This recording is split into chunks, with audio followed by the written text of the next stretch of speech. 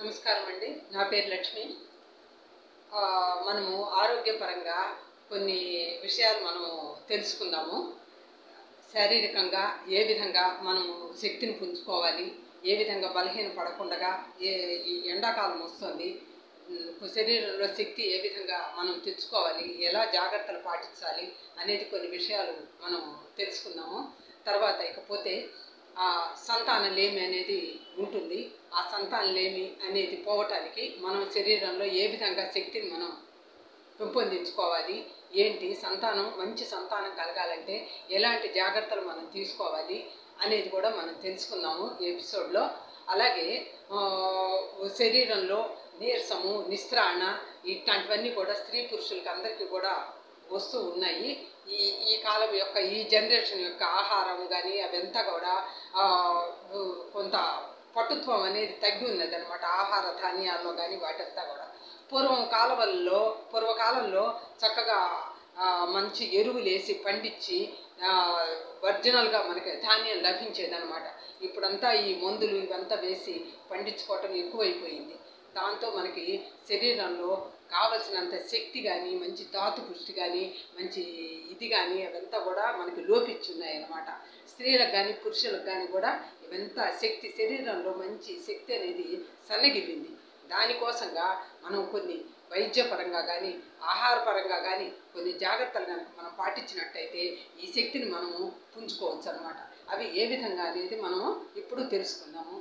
తర్వాత ఇకపోతే మనం మంచి సంతానం కలగాలి చెయ్యాలి అంటే మన శ మన శరీరంలో మంచి ఉత్సాహము శక్తి అదంతా కూడా కావాలి. స్త్రీకి కానీ పురుషులకు కానీ అదంతా కావాలన్నమాట. దానికోసం మనం ఏం చెయ్యాలి? ఎలా ముందుకు పోవాలి అనేది ఆరోగ్యపరంగా మనము తెలుసుకుందాం అనమాట తర్వాత ఇకపోతే మనము జెంట్స్కి వచ్చేసరికి శరీరంలో ధాతు పుష్టి తగ్గటము నీరసం ఆవహించటము పని ఒత్తిడి వల్ల కానీ వీటంతటి వల్ల కూడా నిస్తేజం రావటము ఇట్లాంటివన్నీ కూడా జరుగుతూ ఉంటాయి. కొత్తగా పెళ్ళైన వాళ్ళు కానీ సంతానం కలగని వాళ్ళు కానీ ఎలా మనం జాగ్రత్తలు తీసుకోవాలి అనేది కూడా మనం తెలుసుకొని అవి వాటి యొక్క ఉపయోగాలు ఆ మెడిసిన్స్ కానీ ఆహారం కానీ ఎలా మనం తయారు చేసుకొని ఎలా తీసుకోవాలి అనేది కూడా మనం తెలుసుకుందాం. ముఖ్యంగా శరీరంలో ధాతు పుష్టి కలగటానికి సంతానలేమి లేకుండా ఉండటానికి మనం మంచి మెడిసిన్ గురించి చెప్పుకుందాం అనమాట ఆయుర్వేద పరంగా మంచి మూలికలు ఉన్నాయి.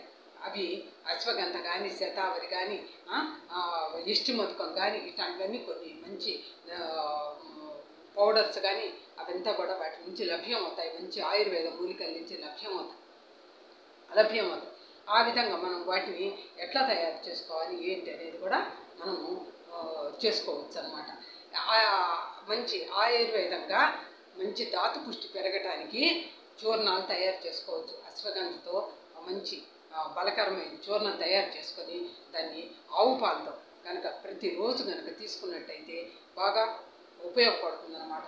ఆ ఆయుర్వేద చూర్ణము ఆ అశ్వగంధ దుంపలు బాగా పాలల్లో ఉడకబెట్టి తీసుకొచ్చి ఒక ఐదారు సార్లు బాగా పాలల్లో ఆ దుంపల్ని తీసుకొచ్చి ఉడకబెట్టి బాగా ఎండబెట్టి ఆరబెట్టి శుద్ధి చేసుకోవాలన్నమాట ఆవు పాలతో ఆవు పాలతో శుద్ధి చేసుకొని వాటిని చక్కగా ఎండలో పెట్టించి ఆ బాగా ఎండిపోయిన తర్వాత ఆ దుంపల్ని తీసుకొని బాగా పౌడర్ తయారు చేసుకోవాలి. పౌడర్ తయారు చేసుకొని మిగతా మూలికలు ఆయుర్వేద మూలికల్ని వాటిని కొన్ని చక్కగా జోడించుకొని ఆ- పౌడర్ తయారు సిద్ధమవుతుందన్నమాట.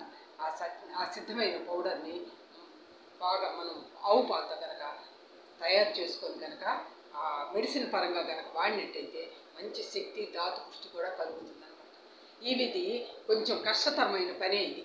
ఈ- దుంపలు తేవటము వాటిని తయారు చేసుకోవటము ఆ మెడిసిన్ సిద్ధం చేసుకోవడం కష్టతరమైన పని. అది ఎవరైనా బాగా చేసేవాళ్ళు కనుక ఉన్నా మనం చేసుకోవచ్చు తయారు చేసుకోవచ్చు మెడిసిన్ రూపంలో కూడా మనం వాడుకోవచ్చు అనమాట అది. అది మా దగ్గర కూడా చక్కగా లభ్యం అవుతుంది మీకు. అది కావాలన్నా కూడా మీకు మేము అందుబాటు చేయగలం అనమాట ఆ మెడిసిన్ అనమాట మంచి ధాతు పుష్టి వీర్య పుష్టి కలగటానికి కూడా అది మేము తయారు చేస్తాము. మేము ఇస్- ఇవ్వను కూడా ఇస్తామన్నమాట అది. తర్వాత ఇకపోతే ఈ ధాతు పుష్టి పెరగటానికి ఈ విధంగా పౌడర్ రూపంలో మెడిసిన్ మీకు లభ్యమవుతుంది. ఆవు పాలతో దాన్ని కలకండ కలుపుకొని ఆవు నెయ్యి వేసుకొని కలుపుకొని ఉదయము సాయంత్రం అంత చూర్ణం కనుక తీసుకున్నట్టయితే మంత మంచి శక్తి ధాతు పుష్టి ఇదంతా కలిగి వీర్యవృద్ధి కలిగి బాగా నూతన ఉత్తేజంగా కూడా జెంట్స్ బాగా బలపడతారు అన్నమాట తర్వాత స్త్రీలకు వచ్చేసరికి వాళ్ళు కూడా రెండు రకాలు ఉంటాయన్నమాట. ఒంట్లో వేడి తగ్గటానికి స్త్రీలకు ముఖ్యంగా అతి అతి వేడి అనేది ఉంటుంది. ఎందుకంటే నెలసలు రావటము హార్మోన్లు హెచ్చుతగ్గులు కావటము అతి ఉష్ణం పుట్టటము ఇట్లాంటివన్నీ కూడా స్త్రీలలో జరుగుతూ ఉంటాయి. అందుకోసంగా వాళ్ళకి ఈ శక్తిని వచ్చే ఈ ఈ దుంపల యొక్కతో తయారైన ఆయుర్వేద మెడిసిను తర్వాత బాడీ చల్లగా ఉండటానికి కూడా ఇంకో మెడిసిన్ కూడా చక్కగా మనకి విధారి కందతో తయారవుతుంది అనమాట విధారి కందతో తయారవుతుంది. ఆ మెడిసిన్ కూడా లభ్యం అవుతుంది అనమాట అది స్త్రీలు కనుక ఈ బలంతో పాటు ఆ వేడి తగ్గటానికి కూడా వాడుకుంటూ ఉంటే శరీరం బాగా వాళ్ళకి దృఢపడుతుంది గర్భసంచి బలపడుతుంది సంతానం కలగటానికి అనుకూలంగా వాళ్ళ శరీర స్థితి ఏర్పాటు అవుతుంది అనమాట మంచి సంతానం కూడా కలగటానికి వాళ్ళకి శక్తి బాగా తయారవుతుంది అనమాట ఒంట్లో ఆ విధంగానే ఇవి ఈ మందులు వాడుకుంటూ దానికి తగ్గ ఆహారం కూడా మనం తయారు చేసుకోవాలి. ఆ ఆహారం అనేది ఎలా తయారు చేసుకోవాలి ఏంటి అనేది కూడా దాని గురించి నేను మీకు చెప్తానన్నమాట. ఆవిరి కుడుము అనేది ఉంటుంది. ఆవిరి కుడుము ఎలా తయారు చేసుకోవాలి ఎట్లా అనేది కూడా చెప్తాను. ఆవిరి కుడుము మినప్పప్పు పొట్టు పప్పు పొట్టు మినప్పప్పు ఉంటుంది. ఆ పొట్టు మినపప్పు ఒక పావు సేరు పొట్టు మినపప్పు రాత్రి పూట నీళ్ళల్లో పోసుకొని బాగా పొట్టు తీసే నా తెల్లవారేసరికి నానిపోతుంది. నానిపోగానే చక్కగా పొట్టు తీసేసి ఆ చక్కగా గ్రైండ్ చేసుకొని రుబ్బుకుంటే ఒక గిన్నె మంచి ఆ మినప్పప్పు పిండి తయారవుతుంది. తయారైన మినప్పప్పు పిండిని ఒక పక్క పెట్టుకొని అందులో బియ్యపు ఒక గ్లాసు బియ్యపు దాన్ని ఒక రెండు గంటల సేపు మంచి బాగా నానబెట్టేసేసి తయారు చేసుకొని బాదం పప్పు కూడా పొట్టు తీసేసిన బాదం పప్పు పచ్చి కొబ్బరి ఇవి కొంచెం మిదియపు గింజలు జీలకర్ర ఇట్లాంటివన్నీ సిద్ధం చేసుకొని బాగా ఈ మినప్పిండిలో ఈ రవ కూడా వేసి బాదం పప్పు పొట్టుకు తీసేసిన బాదం పప్పు అన్ని చిన్న చిన్న ముక్కలు చేసి ఆ పిండిలో కలిపేసేసేసి కొంచెం జీలకర్ర రెండు మిరియపు గింజలు కొద్దిగా ఆవు నెయ్యి పొట్టు వేసి ఆ పిండిలో వేసేసి రాళ్ళ ఉప్పు ఆ రాళ్ళ ఉప్పు కొంచెం వేసి కొంచెం నీళ్ళలో వేసి కరగబెట్టి ఆ రాళ్ళ ఉప్పు కొద్ది శాతం వేసి బాగా కలిపి పిండిని ఒక అరగంట సేపు కలిపి పెట్టే అట్ట పెట్టుకోవాలి. పెట్టుకున్న తర్వాత ఆ తర్వాత ఒక గుడ్డలో చిన్న గిన్నె ఆ గిన్నెలో లోపల ఒక ప్లేట్ వేసి లోపల అడుగు నీళ్ళు పోసేసి ఒక గిన్నె పెట్టుకొని ఆ గిన్నె మీద ఒక ప్లేట్ పెట్టుకొని ఒక తెల్లటి వస్త్రం ఉంటుంది. చక్కటి శుభ్రం వంటి వస్త్రం. ఆ వస్త్రాన్ని తీసుకొని ఆ లోపల వేసేసేసి ఆ గుడ్డ మీద చక్కగా కనుక ఈ వేసుకున్న కలిపి పెట్టుకున్న తయారైన పిండిని కనుక ఆ మిశ్రమాన్ని దానిపైన పెట్టేసేసి పైన మూత పెట్టేసేస్తే చక్కగా మీకు ఆవిరిలో ఆవిరి పొడుము చక్కగా తయారవుతుంది. ఈ ఈ ఆవిరి పొడుము కలిపి పెట్టుకున్న తర్వాత పైన గుడ్డ మీద వేసేసిన తర్వాత కొబ్బరి చల్లుకోవాలి. పచ్చి కొబ్బరి కొంచెం అంత కొబ్బరి తీసుకొని ఒక నాలుగు గరిటెల పిండి ఆవిరి పొడుము పిండికి పైన కొబ్బరి చల్లుకొని తయారు చేసుకోవాలి. తయారు చేసుకొని ఒక పదిహేను నిమిషాలు కనుక మూత పెడితే ఆవిరిలో చక్కగా మీకు ఉడికిపోయి ఆవిరి పొడుము తయారవుతుంది. ఆవిరి పొడిని చల్లారిన తర్వాత తీసుకొని ప్లేట్లోకి తీసుకొని మనం ఏదైనా అల్లం చెట్టి కానీ అట్లాంటివన్నీ వేసుకొని బాగా నెయ్యి వేసుకొని కనుక తిన్నట్టయితే ఈ ఆహారం అమిత అమిత బలకరమైన ఆహారం అన్నమాట చక్కగా ఈ మందులతో పాటు ఈ ఆవిరి పొడుము కనుక తింటే మీకు అమితమైన శక్తి వస్తుంది అనమాట ఎక్కడ లేని ఉత్తేజము శక్తి మీకు తయారవుతుంది. పులిసిని ఉండగా కుండగా చక్కగా అప్పటికప్పుడు తయారు చేసుకుని ఒక గంట తర్వాత మీరు ప్రిపరేషన్ చేసుకొని పెట్టుకుంటే మీకు తయారవుతుంది. తయారై దాన్ని ఆహార పదార్థంగా కూడా ఈ మెడిసిన్స్ తింటూ మీకు శరీరంలో మంచి ధాతు పుష్టి బీజ పుష్టి కలగటానికి శరీరంలో మంచి నరాల్లో మంచి శక్తి కలగటానికి ఇట్లాంటి మెడిసిన్స్ కానీ ఆహారం కానీ మీకు ఉపయోగపడతాయి అన్నమాట నెక్స్ట్ సున్ని ఉండదు. మినప సున్ని ఉండదు. చక్కగా మినప్పప్పు ఉంటుంది కదా ఆ మినప్పప్పు శుభ్రంగా మంచి ఆర్గానిక్ మినప్పప్పు తీసుకొని ఈ పొట్టు పప్పులు ఇవన్నీ తీసుకోవాలంటే ఇప్పుడు ఆ పొట్లు జరిగి ఇవన్నీ కూడా ఇదిగా ఉంటుంది.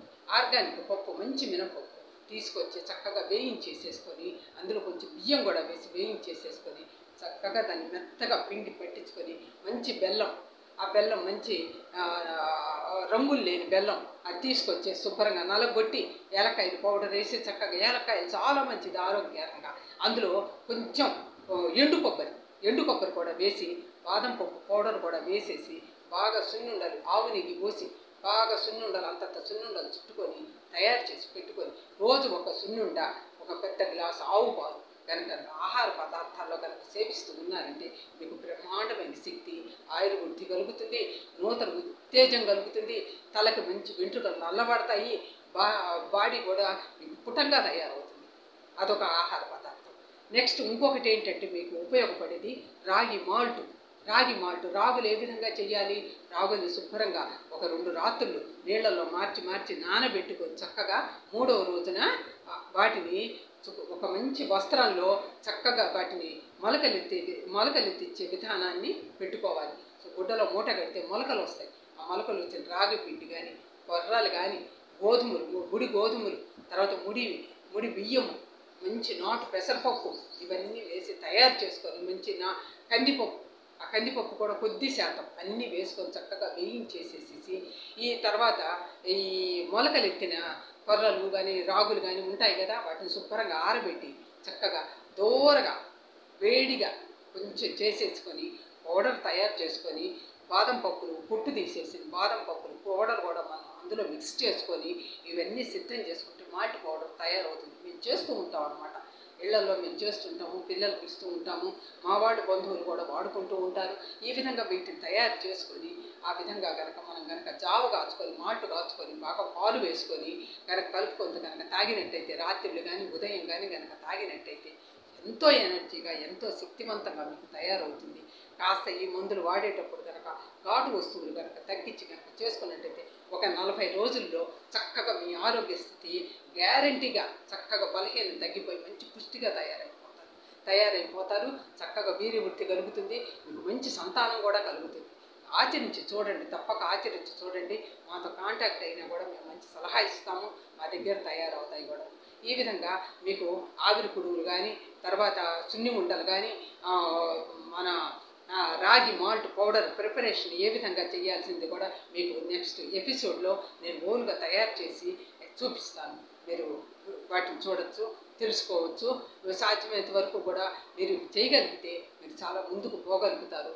ఎప్పుడైతే మన శరీరంలో ఒక బలహీనత అనేది తగ్గిపోయి నరాల్లో శక్తి కనుక వచ్చిందంటే మంచి ఉత్తేజం అనేది వస్తుంది. అప్పుడు మనం ఏ పని కూడా మనం చేయగలుగుతాము. నిరాశ నిస్పృహలు కూడా ఉండవన్నమాట. మనలో శక్తి సహజసిద్ధమైన శక్తి మనలో తయారయ్యిందంటే బాగుంటుందన్నమాట. ఏదో శక్తి రావాలన్నట్టుగా టానిక్లు మందులు తీసుకుంటే అవి అప్పటికప్పుడే మనకు పనిచేసేవి. కానీ ఒరిజినల్గా మూలం నుంచి శక్తి రావాలంటే మనకి ఈ విధంగా మనం చేసుకోవాలి.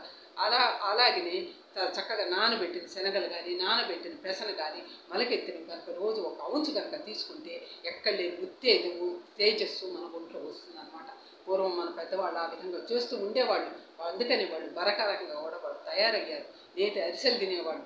ఇప్పుడు ఆ స్వీట్లు తినకూడదు ఈ స్వీట్లు తినకూడదు అని చాలా వచ్చాయి. సరే పంచదార అంటే మానేస్తాం కలకండ అంటే మానేస్తాం. కానీ మంచి బెల్లంతో దాన్ని తయారు చేసుకొని మంచి ఆవు నెయ్యితో తయారు చేసుకొని ఆవు పాలు తీసుకొని ఆవు నెయ్యితో తీసుకొని మంచి కొబ్బరి తీసుకొని ఈ విధంగా వీటిని ఏ విధంగా మనం ఉపయోగపెట్టుకోవాలి అనేది కూడా మనం తెలుసుకొని ముందుకు పోవచ్చు అనమాట నేను ఒకసారి మీకు తయారీ విధానం అనేది ఎట్లా చేసుకోవాలనేది మీకు నెక్స్ట్ ఎపిసోడ్లో నేను చేసి చూపిస్తాను. మీరు తెలుసుకోవచ్చు. ఈ విధంగా మీరు ముందుకు పోవచ్చు. ఈ వీడియో మీకు నచ్చినట్టయితే లైక్ చేయండి షేర్ చేయండి సబ్స్క్రైబ్ చేయండి వెళ్ళినప్పండి థ్యాంక్ యూ